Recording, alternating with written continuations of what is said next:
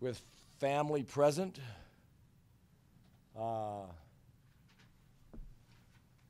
where's all my family? There's Jody and her family, Holt and his family, my oldest son Lance and his family, and where else we at? My wife Diane, my sister Sarah, her children, uh, the actor in the back with the hat, McKenna, Alyssa, and Joshua, Elder, and my new Gain family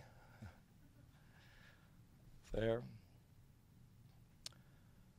Much like when I was introduced at UVSC 13 years ago, I'm announcing at the end of my current contract, I'm stepping down as head men's basketball coach at Utah Valley University, effective June 30th, 2015.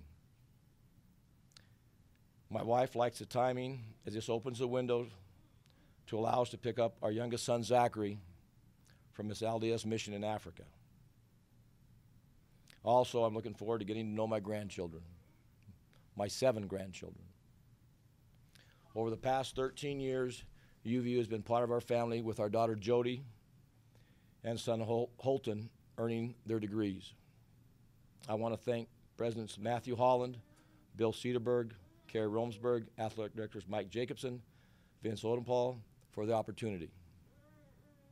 I want to thank our boosters, fans, faculty, staff, student body for their support of our program. In addition, I want to thank my assistant coaches and their families for their tireless sacrifice and support. It's been a privilege to coach so many outstanding young men and have them continue to include me in their lives has been extremely gratifying. I thank them for their positive influence on me and my family.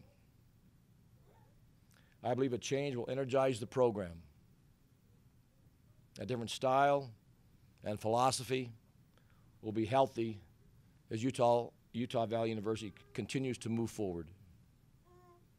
It's time to see a new green sports coat on the sideline. Thank you.